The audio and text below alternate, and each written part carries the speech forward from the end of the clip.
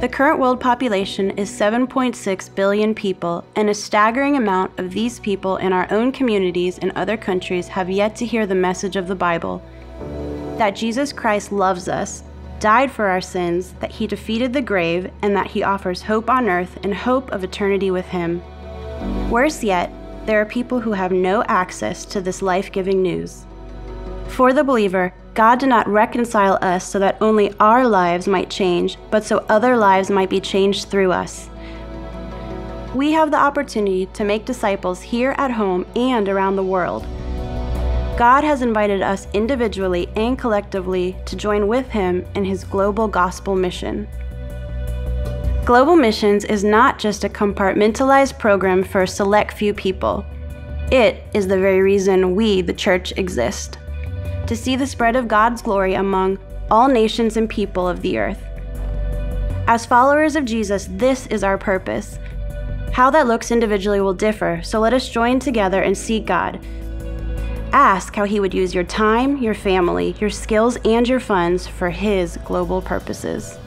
Today, over 1.3 billion people live on less than $1.25 a day. This is considered living in extreme poverty.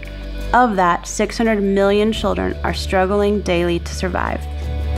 In Luke 4, Jesus alludes to his burden for the most vulnerable in our world, proclaiming that he was sent to give good news to the poor and to set the captive and the oppressed free. The needs are overwhelming. How are we to respond? We have been sent to respond, sent to declare and demonstrate the gospel, to feed the hungry, to clothe the naked, to break the chains of injustice, to see the lost now found, and to see the spiritually dead come to life. It is our desire that each follower of Christ who calls McLean Bible Church their home church would play their role in praying, giving, serving, going, and sending. One practical way to get involved is to serve with an international short term team. When done in partnership with trusted local ministries, short term missions have many benefits. Local ministries are encouraged, supported, and strengthened to better reach their communities desperately needed resources reach the most vulnerable, and your own heart, mind, and life will be transformed more into His likeness. This year, we have opportunities to serve in the Dominican Republic, Kenya, Uganda, Mexico, the Philippines, the Middle East, South Asia, and Europe. Also, we have a unique chance to serve together, campus wide, as one church in Ethiopia.